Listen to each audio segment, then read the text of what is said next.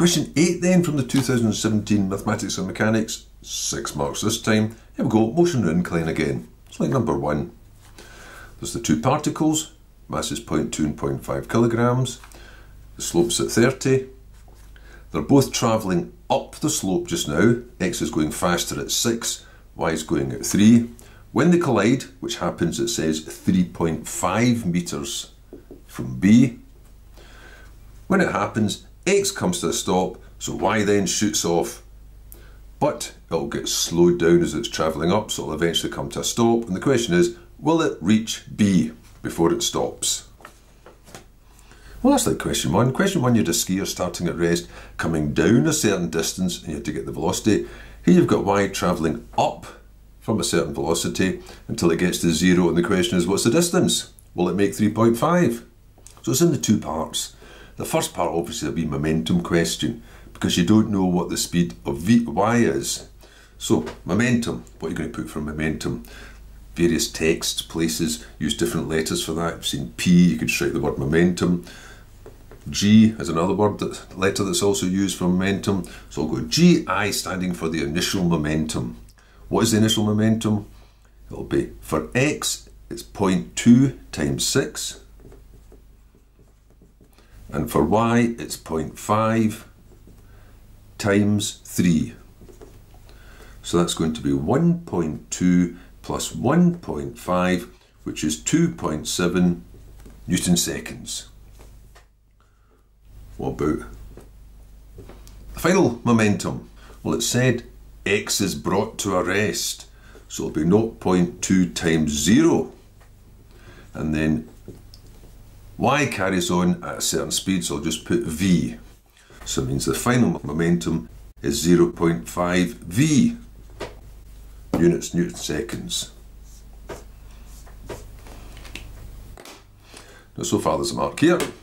Not quite a mark here, there's a mark once you say, well, GI equals GF, or the other way around, GF equals GI, which means 0.5V will equal 2.7, so V will be that divided by 0.5, well that's just double it then, isn't it?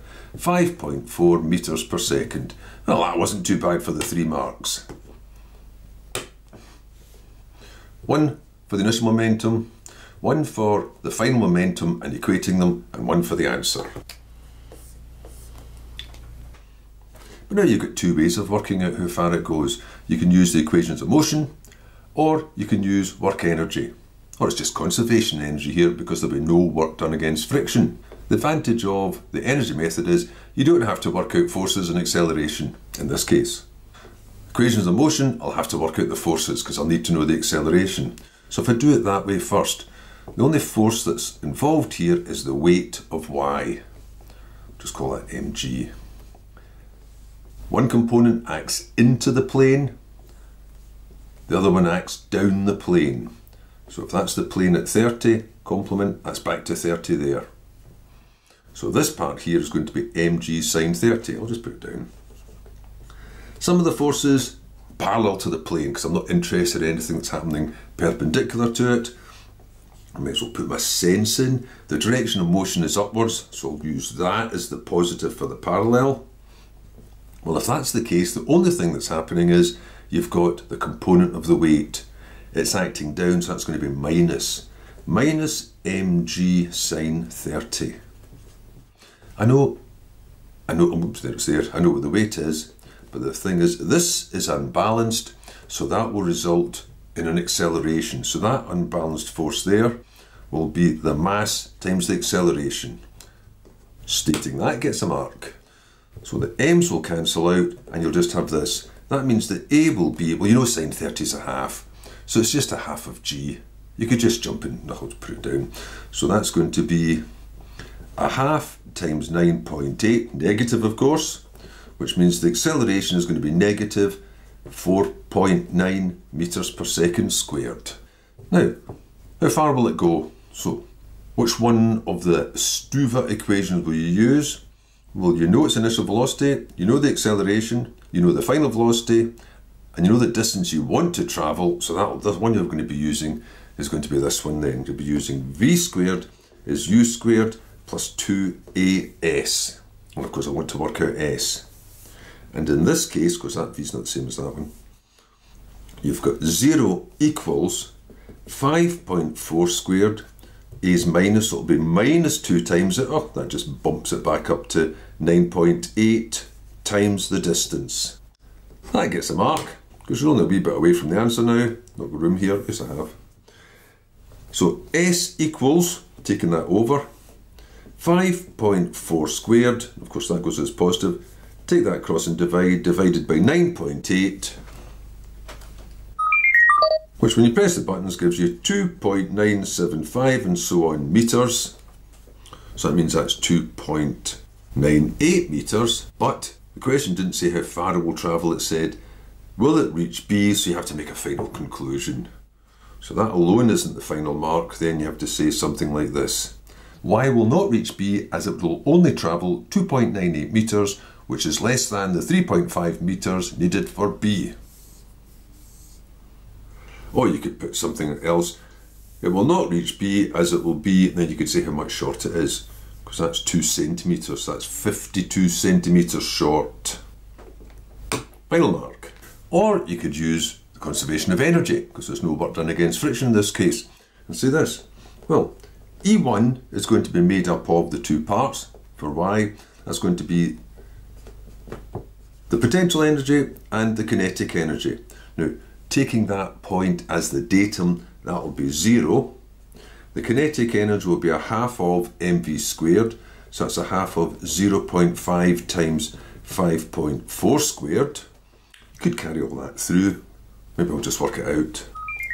So that's 7.29 joules. E2.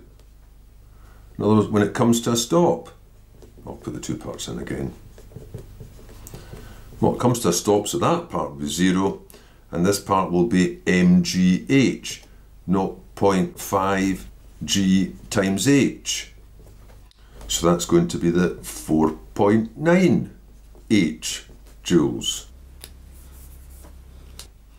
And then, same as the first part, in fact it's quite parallel with the first part, since, maybe we'll do it this way, E2 equals E1, that means that 4.9h equals 7.29, so h will be 7.29 divided by 4.9, which is 1.4877 and so on metres. Only problem is that's not the distance up the slope, that's the vertical distance. So that means I'm just going to have to work out what the distance up the slope is just by using trigonometry. So if that was h, you know from the triangle, that's 30. That's the distance, that's h. S is going to be h divided by sine 30. S is going to be 1.4877 and so on, divided by, and sine 30 is a half. So you double that, and you get the same thing, 2.9755 and so on. So 2.98 metres. And then you make the same conclusion. It's not got this in the marking scheme, so I'm just guessing. There'll be one mark for getting the energies, one mark for equating them and getting the height, and then finally one mark for getting the distance and making the comment. No, it won't reach it because it's less than 3.5 because it's 52 centimetres short.